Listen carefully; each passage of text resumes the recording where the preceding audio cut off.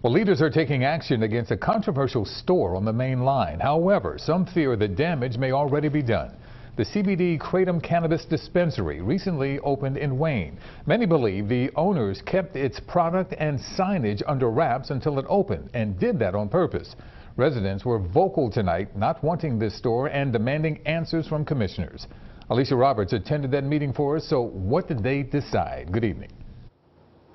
Well, good evening to you, Ukee. That's right. Well, to start, those residents are asking that these huge display signs plus the sign out front be taken down or covered up immediately. They say these images have been shared over and over on social media, and residents tell us that they will not tolerate this company's attempts to ask for forgiveness instead of permission.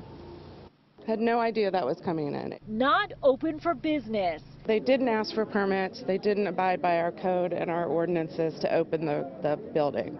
CBD Kratom Cannabis Dispensary on Lancaster Avenue in Wayne forced to close just days after it opened under what many say was an intentional cover of darkness. Apparently they came in, uh, did their work with the um, with the, the windows all covered. Monday night, concerned parents came out wondering how this could even happen, especially within walking distance of several local schools.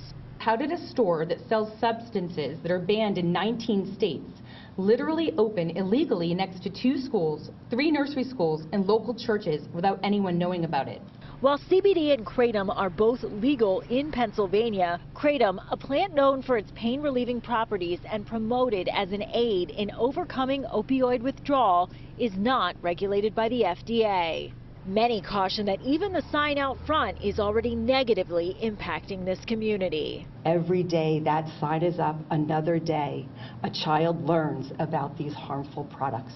While the township has said that sign must come down until the business receives proper approvals to open, many are now asking township leaders to block this business from being allowed to operate in the future. They have to let people know that they will lose their investment when they um, act this way in this township.